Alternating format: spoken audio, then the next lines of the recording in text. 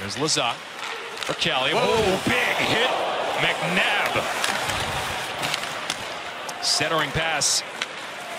That didn't get through to a King. It's Waugh to skate it out.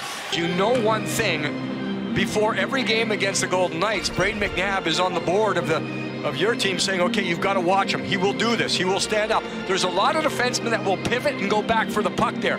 Brayden will not do that. He did it time and time again when he was here with the Kings. He up that. That's a big part of his game. Make sure the gap is there. Kaliyev's okay, but more upset with himself for not watching and feeling that check. Face-off win to Whitecloud. The Golden Knights try to set up shop here. 3.22 to go, first period, 3-1.